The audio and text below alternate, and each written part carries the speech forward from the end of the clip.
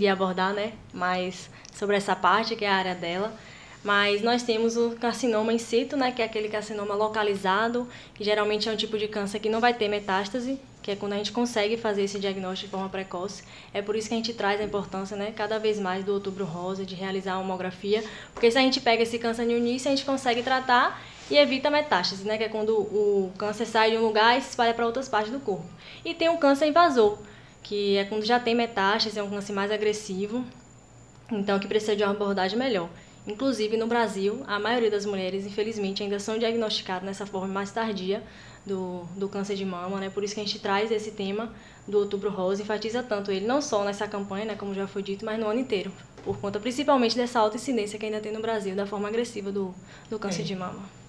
Verdade, pode falar também, é bom, né? É verdade. Como a Jéssica falou, a Jéssica falou dos os principais tipos histológicos de câncer de mama que a gente fala, né? Que é o carcinoma, a gente tem o mais prevalente, é o ductal mesmo. É o carcinoma ductal na mulher, o que a gente mais, que a gente mais é, diagnostica, né?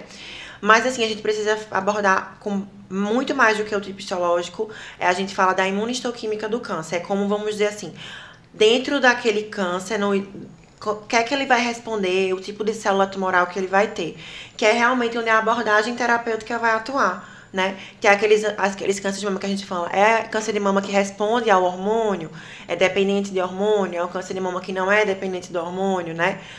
A maioria dos casos são cânceres de mama dependentes de hormônios, certo? Que são os luminais que a gente chama. Mas a gente também tem câncer de mama que não é dependente de hormônio, que é o triplo negativo, o tipo HER. Então a gente tem também outros cânceres de mama, mas os mais prevalentes são os que são dependentes de hormônio, que são os dependentes de estrogênio. Né? São os mais prevalentes. esses hormônios, estrogênio que você traz aqui, é, é a quimio? Eu queria entender mais isso. É a quimioterapia que a gente fala? É essa medicação? É isso? É? E...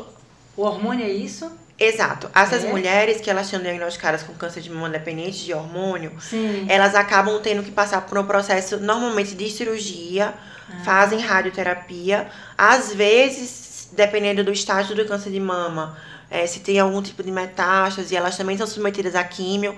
A gente sempre, na cirurgia de câncer de mama, a gente opera e faz a pesquisa de linfonodo aqui embaixo do braço, que é o principal local de metástase é, do câncer é? de mama. A gente precisa também ver se tem algum componente que a gente chama de íngua, né? Da íngua a embaixo íngua, do braço, é, né? Com certeza. A gente então precisa... esse termo íngua é, ainda usa muito, não é? A gente usa, né? No popular a gente usa para dizer o que é, é. exato. Pra ficar o mais comprometimento. Fácil o entender, né? Exato. É isso, eu vi muito isso quando eu era jovenzinha, né? Que, tem, que realmente alguém tá com isso, com íngua e tal, e já, já é um sinal, né? Isso. De algo que tá errado ali. E que às vezes, e às vezes, na maioria das vezes, dói quando a gente toca. Sim. Né? Então, é, foi muito bom, né? Trazer isso também, legal.